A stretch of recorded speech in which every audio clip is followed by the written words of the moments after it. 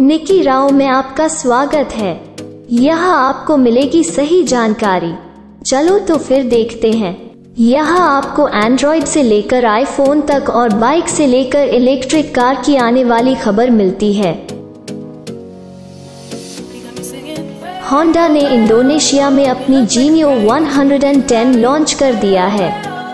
इस स्कूटर को होंडा ने बेहतरीन डिज़ाइन दिया है। साथ ही इसमें आपको ज़बरदस्त फीचर्स देखने को मिलते हैं।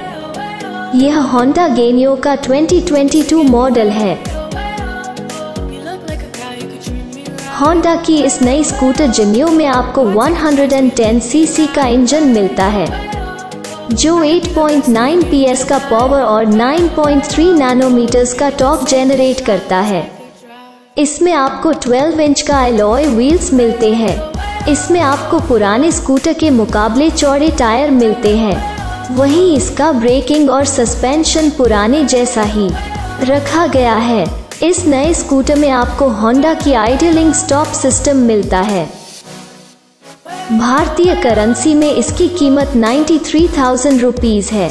इसे अप्रिलियर और फैसनों से इंस्पायर्ड होकर बनाया गया है क्योंकि इसका डिज़ाइन दोनों के कॉम्बिनेशन जैसा लगता है। होंडा जीनियो को अभी तक भारत में लॉन्च करने की कोई भी खबर सामने नहीं आई है। बहुत से लोगों का मानना है कि यह नई स्कूटर देश की सबसे पॉपुलर स्कूटर होंडा एक्टिवा को रिप्लेस कर सकती है। वहीं अगर अभी आप होंडा को छोड़कर कोई दूसरी 110 सीसी की स्कूटर लेना चाहते हैं तो आपके लिए टी वी एस जुपिटर अच्छा ऑप्शन है। इसमें आपको कई अन्य और एडवांस फीचर मिलते हैं।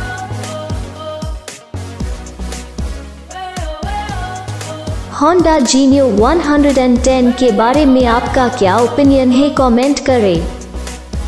है, यहाँ आपको मिलेगी सही जानकारी।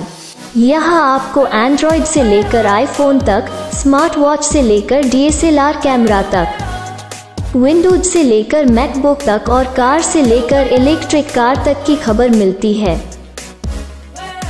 ऐसी ही जानकारी पाने के लिए चैनल को सब्सक्राइब करो ताकि आपको मिल जाए हर वीडियो की नोटिफिकेशन वीडियो को लाइक करें शेयर करें और चैनल को सब्सक्राइब करें ताकि आपके मोबाइल पर मिल जाए हर वीडियो का नोटिफिकेशन